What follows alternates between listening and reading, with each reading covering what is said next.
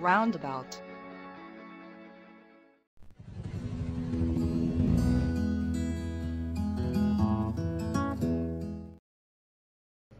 Hi, I am Victor.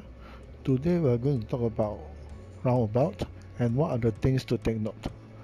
Just to name a few famous roundabout in Singapore. Newton Circle Roundabout Marine Parade Roundabout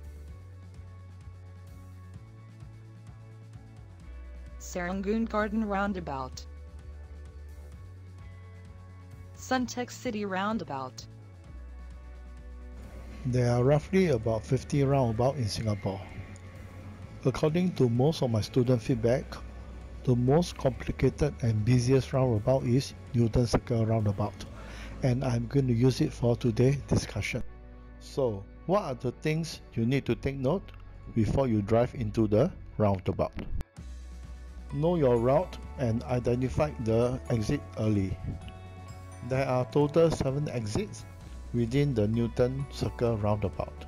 I will tell you the exit in sequence from Newton Road towards Newton Circle roundabout. They are Keng Road exit,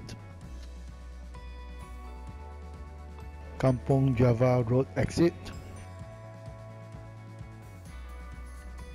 Bukit Timah Road towards City, Clemenceau Avenue North exit, Scotts Road exit, Bukit Timah Road and driving straight towards Newton Road. There are traffic signals in operation during certain hours. This is one of the traffic lights near Scotts Road.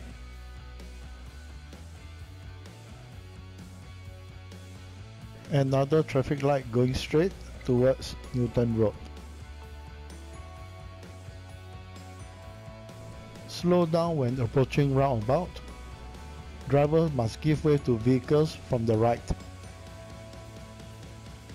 Let us take a look at this diagram.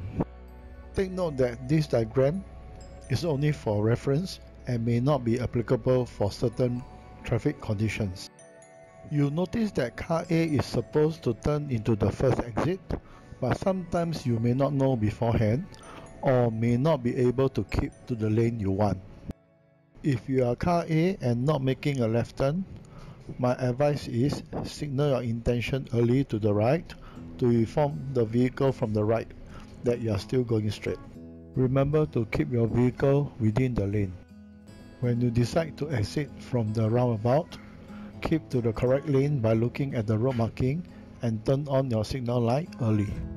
While you are exiting to the left, just in case, take note of vehicles that may be going straight. Thanks for watching. Hope that this video will provide you with some useful tips. Please subscribe, share and like the video. Thank you.